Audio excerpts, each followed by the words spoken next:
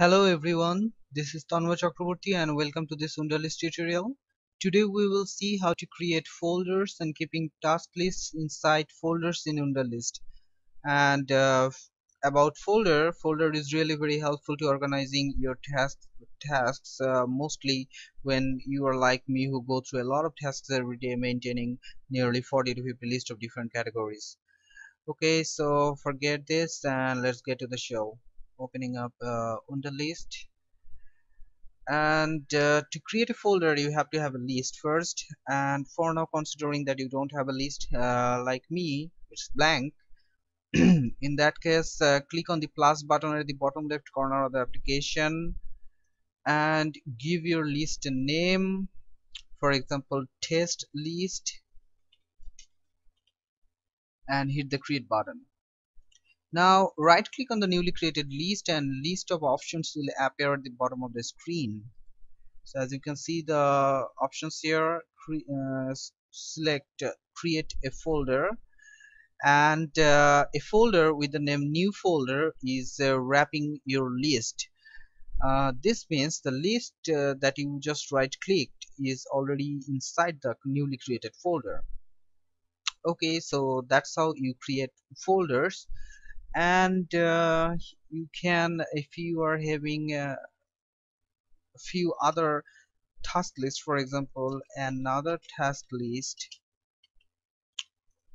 And uh, you see that another task list is uh, outside of the new folder you have just created. So if you want this list to be inside the new folder you just click on it drag and drop it inside the new folder. It is inside the new folder and very simply if you want a list out uh, if you want a list to take outside of the folder you can drag and drop it outside of the new folder or any other folder actually.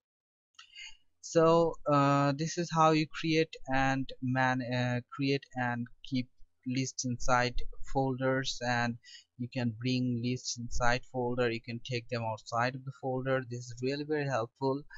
And uh, for now uh, let us let's see uh, how to rename a folder. Actually this is very necessary because uh, you created a folder with the name new folder but new folder is not going to work for all the cases.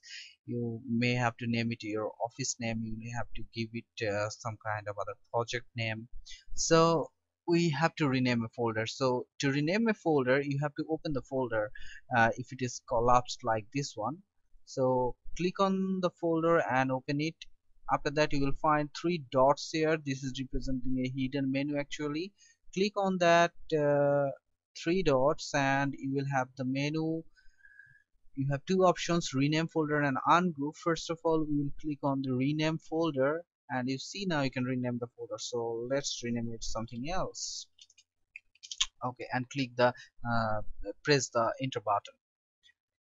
So that's how you just rename the folder and obviously if you need uh, ever need to delete a folder just click on that three dots and you have the menu. Click on ungroup. You see the menu is gone. So now for example we let us create let's do this whole thing once again. Now consider that you have two lists uh, here and I need another task list to be inside a folder called something else. So right click on it and you have the menu at the bottom. Select create a folder and a new folder is created and the list is already inside the folder. Now consider renaming it. Click open the folder click on the three dots click on rename folder and give it the name something else. Okay something else. Hit the enter button and it is renamed oh shit and now I need to delete the folder. How funny. Ungroup okay so this is how you work with folders on in Wunderlist and this is really very helpful and really uh, was in my wish list from when I started using Wunderlist. Thank you so much for watching